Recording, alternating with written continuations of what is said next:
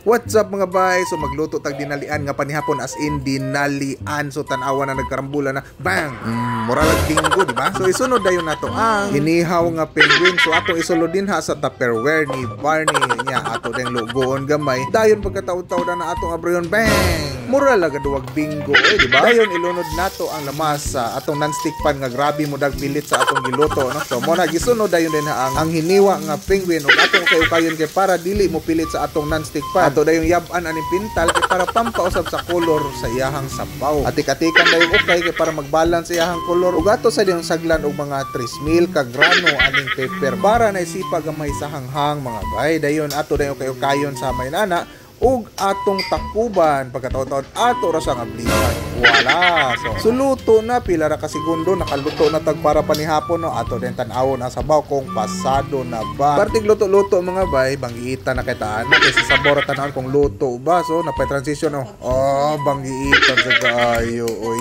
Kay plato pagabot amoy. wa man lang ni agig tilaw mga bay oh. Mix mix diretsos kanon oy na oh tanawa. Oh unang subo puro kanon. Aha. Perting lang yan mga bay. Ato rin ati katikag mix din na sa katong dahon-dahon. Ug ato rin itong pangitaon tong unod nga murag baligjis mga bay. O, oh. tanaw na to. O, di ara o ha. Bugiruha gid oy pinadulit man kayo pag video ang iyahang naluto abi kay nakataghap. Pila ray oras mga bay? 1 minute 30 seconds. Lupig fast food. Oy, padunganon migluto ana matawag na silang slow food. Sige mga bay, oy nangaon sa mi kapuyag chika ning binutbot nato. Oy, joke-joke ra na mga bay. ah.